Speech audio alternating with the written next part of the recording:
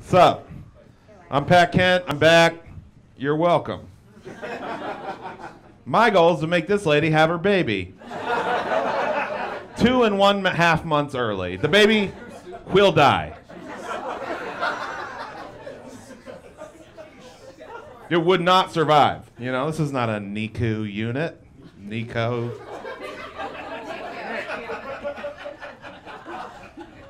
These floors are riddled with diseases. Your baby is a goner in this situation I'm making up. Obviously, happy, health, healthy, wha- whatever. I don't care. I actually do not care. and that's uh, no offense, but if your baby lives or dies, not going to change my life one, not even one bit. Too much? Let the record show that that was not too much. The crowd did enjoy that. Let the record show. It's been recorded in the record. I feel like I, I owe you guys an apology, not for that, but uh, I thought I actually thought this president was not going to do a good job, you know, and he's he's really doing great. He's actually, I feel like an idiot because I thought, like when we when he got elected, I was like, ooh, this is not going to go well, and then like it's going great. It's like going so great.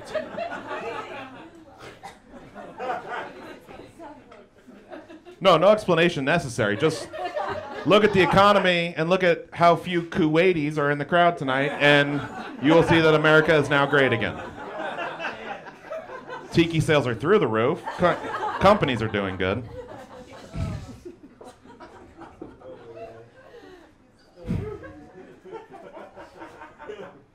That's called, uh, I don't know what it's called, satire?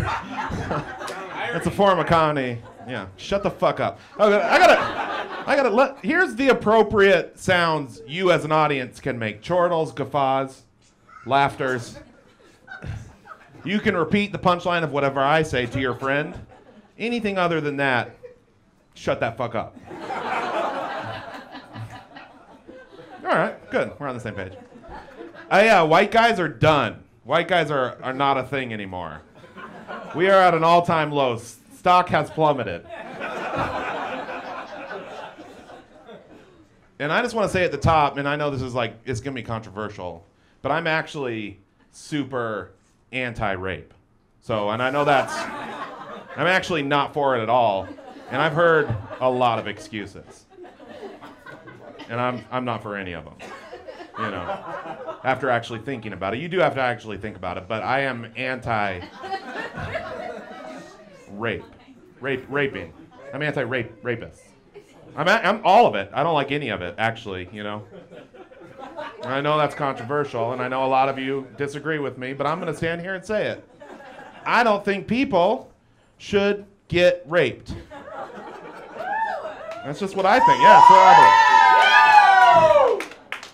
And uh, but I, you know.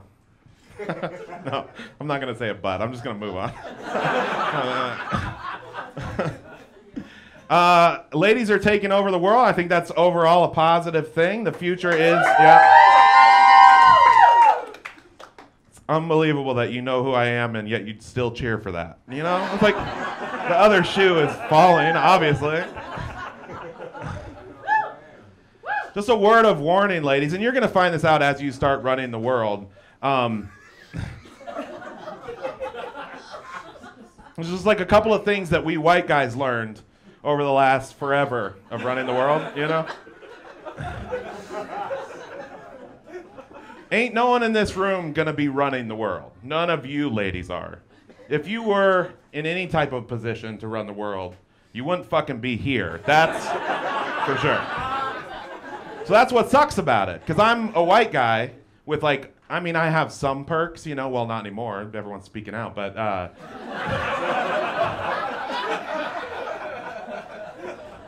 But I don't have like the fucking big time perks. Do you know what I mean? Like the full on hotel room perks. I don't get any of that stuff. Those are my representatives, Mr. Weinstein, those types of people.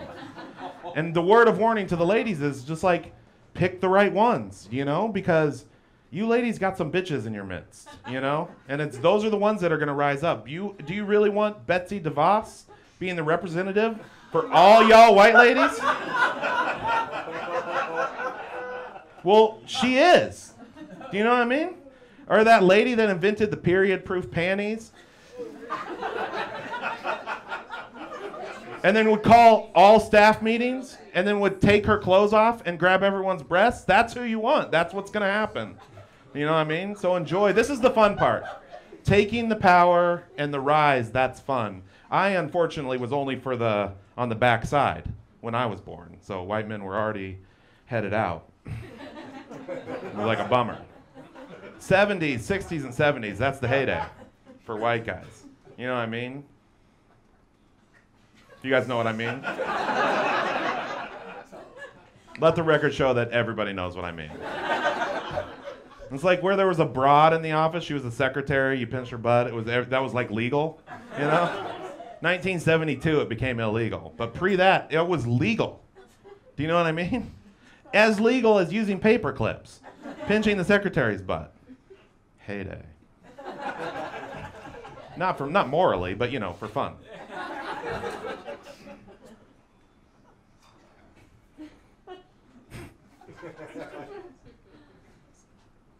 Are you having fun so far? Of course you are. I'm talking. right? no, it is bad. It's pro. I've uh I've lost 60 pounds, you guys, and then I put 20 back on. So I've lost 40. I've lost 40 pounds. And uh, you know you're fat when you tell people you've lost 40 pounds and you can see them doing the math like, ha, what? Where would you hide 40 more pounds on that? I'm very, very fat. Uh, I'm wearing a black shirt, so you can't tell, but um, I'm actually dangerously fat. Flying here, uh, I, I did my, I'm dumb too, and I, did, I got my flight time wrong. So when I was flying here, I was like super early to the airport, and there was only one, there was this like one guy, Southwest guy behind the desk. And I was like, hey, I know, you know, this flight's going to Philadelphia, but the next one, that's to Chicago. I just want to make sure I'm in the same right place. And, uh, and he looks at me and he goes, yeah, yeah, just hang there for a second. And I was like, no, that's fine. I just need to know if I'm in the right spot or not. And he's like, nah, give me your ticket. And I was like, okay. And I gave me his, his ticket. I gave me a, I gave me, I gave him. let's take, let's, we'll take it back. White guys are done. No, what if I went all the way back to the? uh, yeah, I gave him my ticket. Woo! I did it! Woo! Fuck yeah! Sentence! Whew. I gave him my ticket, and he just like clicking, clicking, clacking, clicking, and I was like, I don't, because I was like, I'm already A class because I'm a white guy. Do you know what I mean? I'm section A. You know, so it's like, what more could you be giving me? And he's like, uh, I'm gonna reserve the seat next to you. You're way too big for one seat. I was like, hurt so bad. It's like it is because when you're this fat, it's like I feel like I'm doing great, but I always forget that the rest of the world is like, oh, that guy's gonna die soon of a heart attack. and he's like slid it across, and then but then that downgraded me to C section, and he's like, you can just pre-board with all the wheelchairs, and I was like, no. no, no, no. I will be boarding in the A section that I originally paid for. And it's like I wanted to explain to him, like, bruh, I no longer need a seatbelt extender, so suck on that. By one centimeters, I no longer need.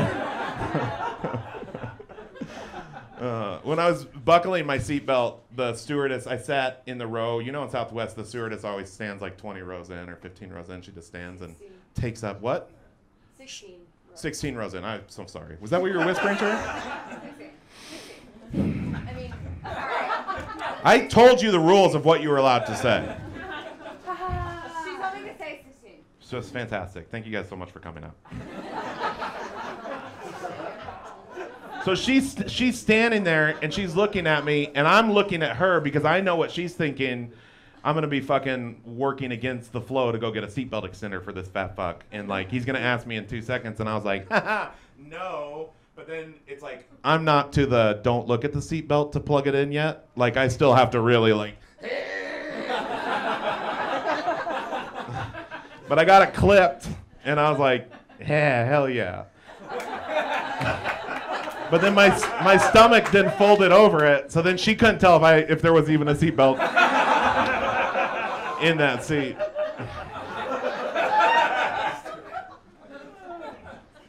The same thing happened to me uh, at Disneyland. There's this new ride that shoots you straight up in the air, and uh, they put a harness that goes over your shoulders, and I'm buxom, right? And uh,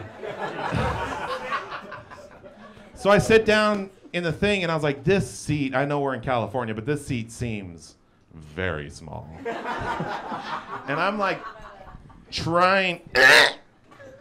trying to get it, and I can't. It's like you know, up through your crotch, down over your shoulders, and I'm trying, and I cannot get it. And I look up, and there's like just a whole row of Southern California beautiful women just being like, eh, and like holding their arms up, and I was just like, oh no.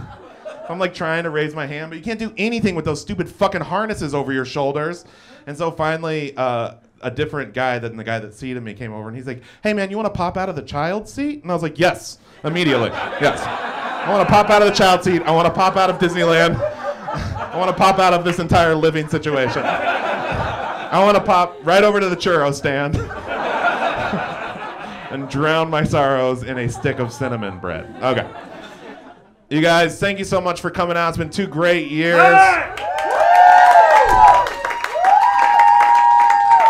I'm Pat Kent. Good night.